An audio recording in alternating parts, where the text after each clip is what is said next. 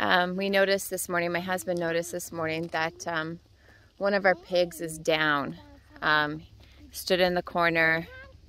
Um, this way, baby. This way, guys. This way. This way. Um, asked me to keep an eye on it. Um, it's only a few hours later. I've brought him like an oatmeal mash. I've brought him a few different things. He won't eat. He won't take water. Or I should say she. Um, she, uh, she just stands in the corner. Um, she has finally moved to her bed, um, but she's got a dry nose. I got in there with her, and um, yeah, she won't, she won't budge on us. Um, so I had told my husband pretty much what Joel Salatin had said, that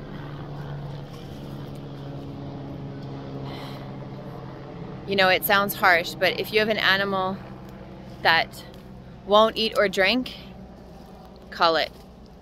It, it sounds unkind, but these pigs are being raised for meat.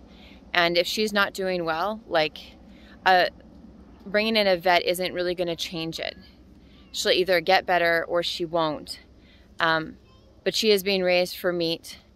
And um, if she can't, uh, if she can't fulfill her role, then the humane thing for us to do is to put her down and, and butcher her a little bit earlier.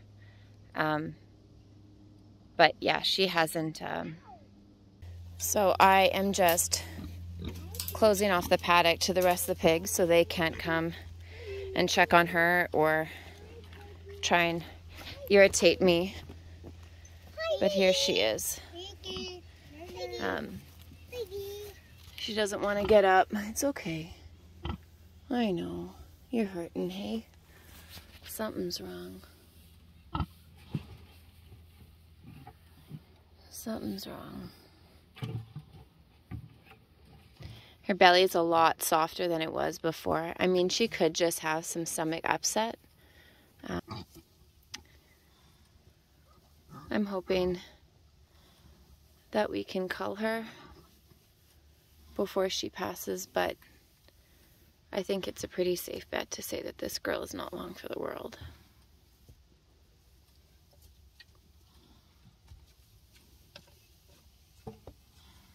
Yeah. Hey, you're okay. You're okay.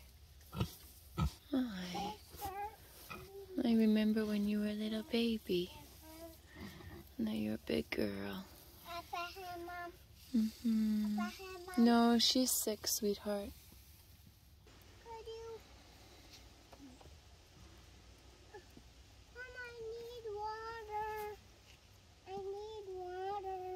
Okay.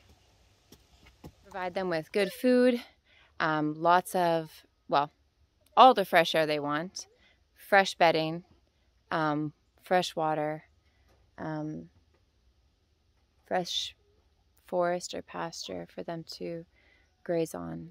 And um, yeah, this is it. And it's it's not easy when you're in a pen with an animal that you can see is hurting in some way, shape, or form, and you can't figure it out because it does pull at your heartstrings. It should pull at your heartstrings. Um, She's very docile right now.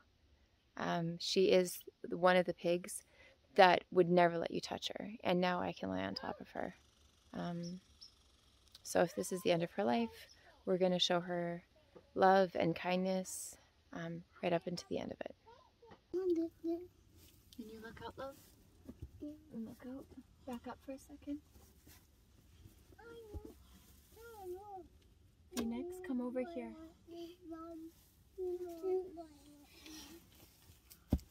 Can you back up, please? Can you back up, please? Hey, hey, she doesn't want to stick. Can you just back up, please?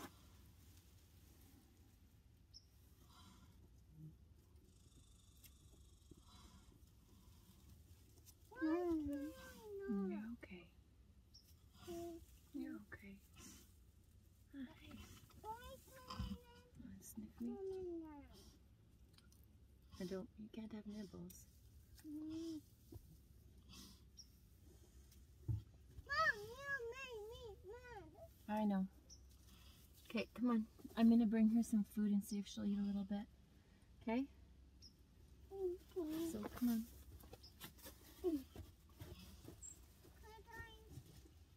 Can you stand right here and watch her for me?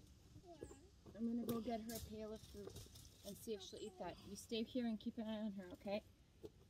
Don't let her eat my phone. Okay. Don't let her, let her eat. This morning before work, when I went to go feed the pigs, I noticed one was lethargic. And he hasn't been moving all day. So, one sec, let me take this earplug out. So, he's sick. If it was a young pig, we would maybe take it to a vet. Maybe get a vet to come out. But now it's a 220 pound animal. It's got three weeks left in its expected lifespan before we would harvest it. It's sick. Now I have to cull it before it decides to die of natural causes on its own. If a pig dies of natural causes on its own in the middle of the night, then that's lost product. Because you can't bleed it out, you can't hang it, the blood's left in the system, and the meat is now ruined. So I went, got myself a new gun today, little fancier than I would normally get. It was the last 22 Magnum on the shelf. So that's why I got the fancy Rainbow Warrior gun here.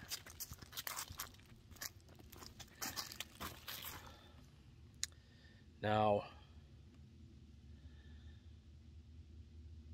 I'm not going to show you me shooting the pig, but that is what's going to happen next. I'm going to go down, shoot the pig, and then gut the pig, skin the pig, and then take it in to a butcher because I'm just not set up to butcher myself as of yet. And it's 24 degrees out Celsius, which is way too warm to be butchering and keeping pigs on an off-grid property where we don't have electricity, don't have the proper cooling storage, and we have running water, but it helps a bit for cleanup at the end.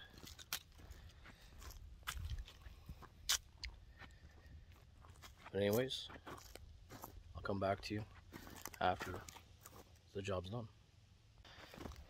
I might not explain that properly. In case I didn't, here's the edit. I bought the new gun. That's a 22 Magnum. Because the other gun I had was just a 22. Regular caliber. I found last year with the 22 that often, like two out of the four times, the bullet didn't have enough power to penetrate the skull. So it was a messy situation. This gun is more powerful. As long as my aim is true, then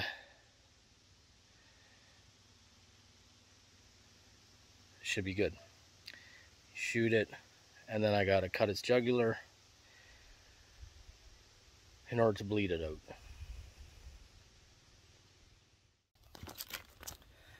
Okay, that was a good clean kill.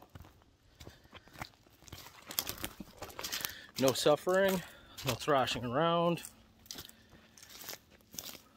It's something that you have to, you know, if you're taking it to the abattoir, you don't have to worry about that. If you're a homesteader who is going to be harvesting their own pigs, then that is something that you have to worry about. That the kill might not be perfect.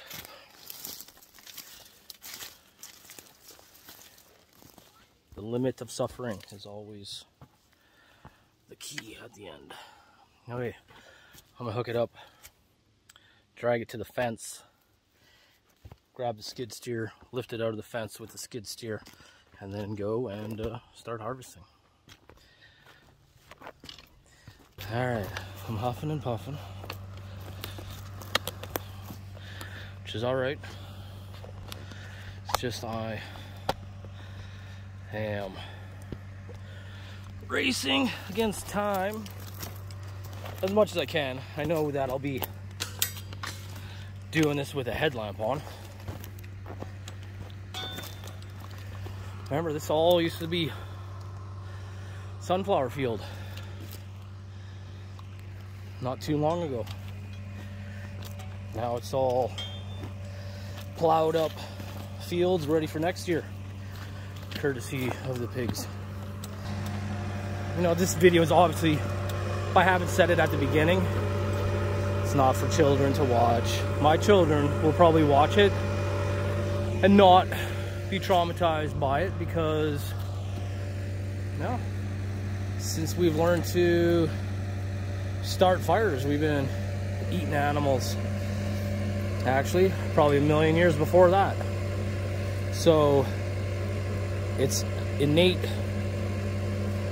it's instinctive, it's in our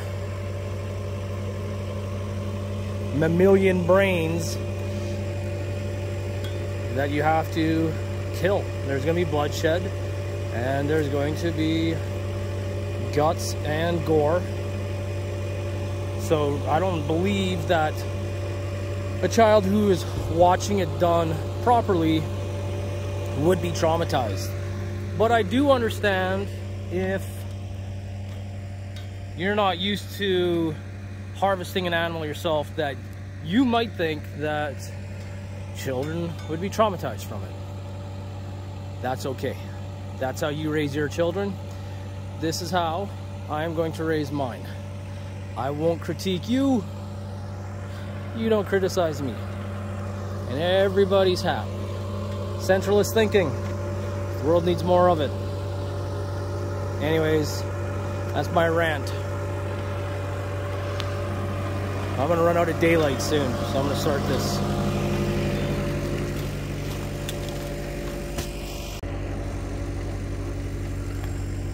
Okay, so this guy weighs in at 200, pretty much even.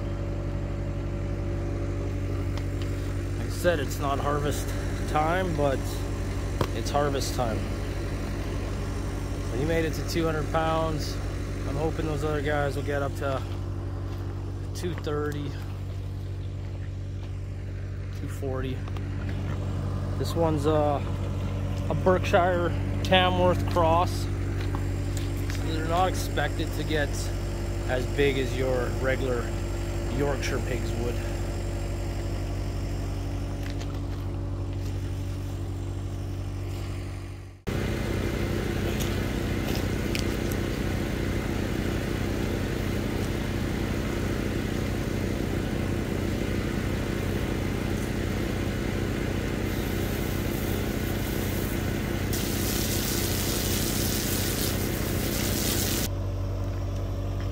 That's it. All said and done.